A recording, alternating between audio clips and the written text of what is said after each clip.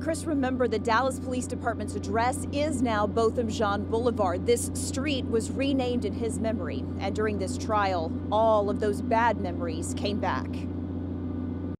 The pain is so deep. I don't know what it is, but ever since I lost Botham, like I just cannot feel. She's grown numb. But I know it's a victory for all, but for me, I just cannot feel. But Allisa Findley will never grow complacent. Hopefully, this is a sign of change.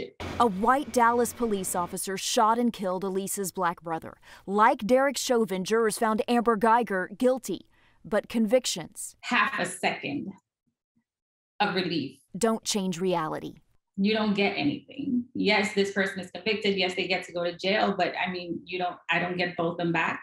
After Botham Jean's death, Findley and sisters of other black men killed by police founded Sisters of the Movement to lobby for reform, pushing especially for federal tracking of excessive force and praying for deeper change.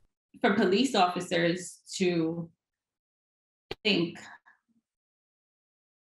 when that bullet leaves the gun, you're not just aiming at one person, you're aiming at a whole family, you're aiming at an entire community because we're all left broken. Healing requires peace, a peace she won't find if lives keep being lost. In Dallas, I'm Teresa Woodard.